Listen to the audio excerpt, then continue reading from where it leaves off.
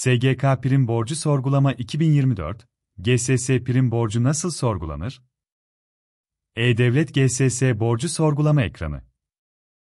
Sosyal Sigortalar Kurumu, SGK, prim borcu sorgulama ekranı, GSS borcunu hesaplamak isteyen vatandaşların gündeminde yer alıyor.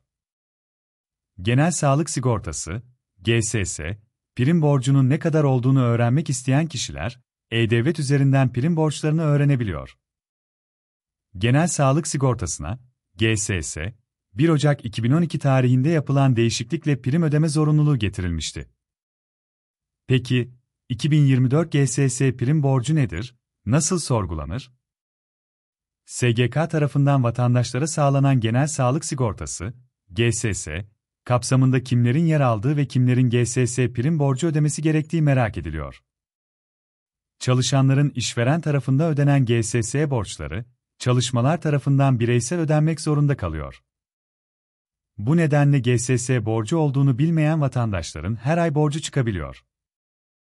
Peki, 2024 GSS prim borcu nedir? Nasıl sorgulanır?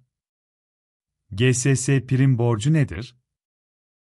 Genel Sağlık Sigortası'na, GSS, 1 Ocak 2012 tarihinde yapılan değişiklikle prim ödeme zorunluluğu getirildi.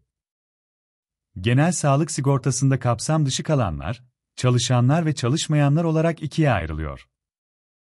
Sigortalı çalışanların primlerini işveren ödediği için borç doğmaz, ancak çalışmayanların kendi primlerini dışarıdan ödemeleri gerekiyor ve bu nedenle de her ay sigorta borcu çıkabiliyor. GSS borcu neden olur? Aylık gelirin asgari ücretin üçte birini aşıp aşmadığı gelir testiyle tespit edilir, ancak gelir testi yaptırılmadığında, her ay ilgili ayda geçerli olan asgari ücretin %3'ü tutarında GSS prim hesabına borç yazılır. Bu nedenle de GSS prim borcu birikir. GSS borcunu zamanında ödemeyenlerden, SGK icra veya haciz yoluyla borcu talep edebilir.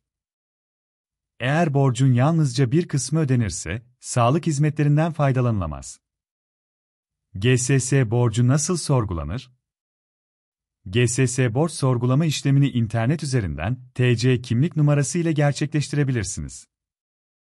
E-Devlet üzerinden EGSS sorgulama sayfasına girdikten sonra tescil ve borç sorgulama işlemi yapılmaktadır.